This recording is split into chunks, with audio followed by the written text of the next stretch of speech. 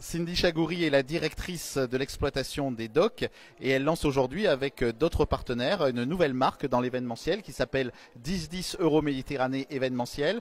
À côté donc du Faro et à côté euh, du Parc Chano, c'est un nouveau site événementiel à Marseille. Ça veut dire qu'avec tout ce qui se passe à Euro Méditerranée, vous aviez besoin un peu de, donner de la cohérence ou de la cohésion euh, à l'aspect euh, réception, à l'aspect hôtellerie, à l'aspect restauration, puis aussi à, à la détente. Vous n'êtes pas là uniquement pour vendre des espaces de bureau. Exactement. Alors on n'est pas là pour vendre que des espaces de bureau, on a aussi l'obligation de produire la possibilité à nos locataires, qu'ils soient commerçants ou bureaux, euh, d'avoir une zone de loisirs dans le quartier qui se développe de plus en plus, qui a un pôle habitation aussi qui se développe de plus en plus. Et c'était vraiment l'occasion d'aller travailler sur de la synergie. On a des lots qui sont très atypiques, qui sont complémentaires du parc Chano par exemple ou du palais du Pharaon.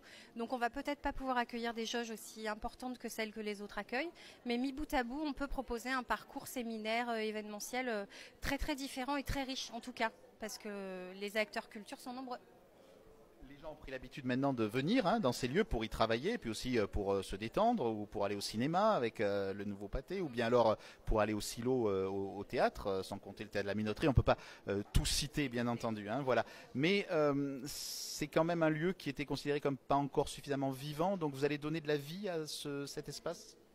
Euh, il est alors, on a déjà donné de la vie sur les horaires de bureau, donc maintenant on va donner de la vie en dehors de ces horaires de bureau, et elle se crée naturellement. On le voit avec les nouvelles ouvertures, et euh, le Cielo était le premier à ouvrir, un petit peu seul avec le théâtre de la Joliette. Donc oui, l'objectif c'est de sentir le monde se circuler librement dans le quartier. Merci. Je vous en prie.